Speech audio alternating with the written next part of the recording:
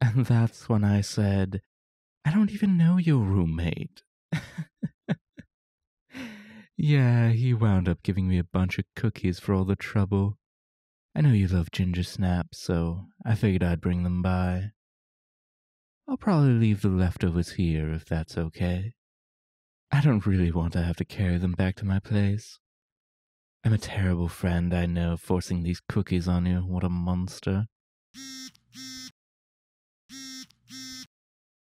Oh no, I don't mind at all. Go ahead and take it. Yes, I'm sure we'll be fine without you for a few minutes. It's not like it's our first time meeting or anything. Alright, what the fuck? Don't what me? How are you here? Are you adopted? Do you have some fucking twin I don't know about? Well, tough shit. I want to talk about it. I'd like to know how you're sitting here like nothing fucking happened when I know for a goddamn fact that I killed you three days ago. I drained you dry. There wasn't a drop of blood left in you. The fuck does it matter if you said want to or can't? It's the same difference in the. Wait. Wait. You can't talk about it. Can't talk about it physically? You can't even form the words? Holy shit. Holy shit. You're cursed, aren't you? oh man. Who'd you piss off to get something this nasty? Gonna assume from the glare you can't talk about that either. Damn. Spellcasters can be real dicks. Let me guess. You can die, but you can't stay dead.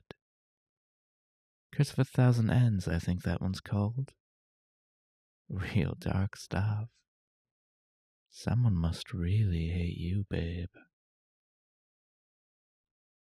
That's not all, though, is it? They went the extra mile on you. No wonder you always smelled so damn good. They turn you into man-eater catnip.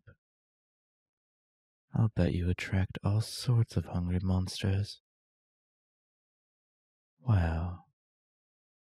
This explains why you didn't warn your brother about me. You can't tell anyone about your deaths which means you can't get that curse lifted.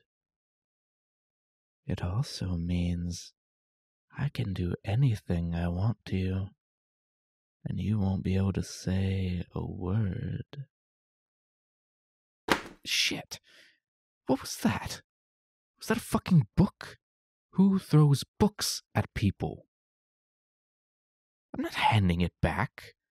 You threw it. You can come pick it up yourself. Anyway, what exactly are the limitations on the tied tongue? Have you tested them? Okay, no writing, sure.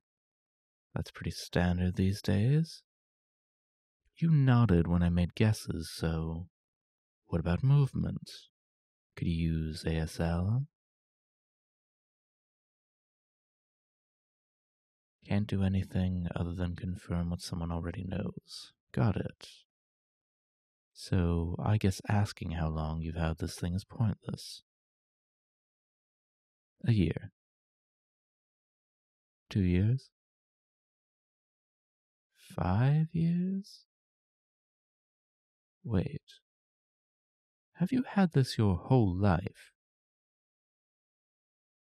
Damn. Not you who pissed someone off, then. The parents, maybe. You probably cursed before you were even born. Rough luck. Well, rough luck for you. Speaking for myself, I don't see how this could have worked out any better. I know where you live, babe. I've been invited in. I can kill you whenever I want, and there are absolutely no consequences for me. This is the goddamn dream. Ah, ah, ah. Shh. Sounds like your brother just finished his phone call.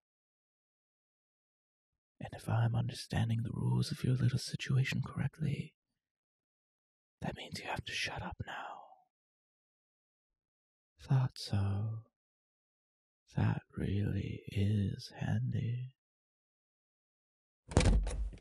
Hey, how'd it go? Everything okay on your end? Oh, yeah.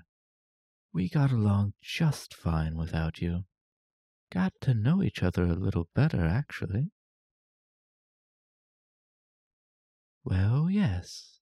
I was planning on heading out in half an hour or so. Why?